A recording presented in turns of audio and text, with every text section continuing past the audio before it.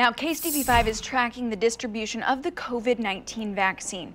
Today, one of the largest vaccine distribution efforts in the metro is calling it quits. This is the last day for Operation Safe. The clinic at Cerner's headquarters in North Kansas City will have vaccinated nearly 97,000 people by the end of today.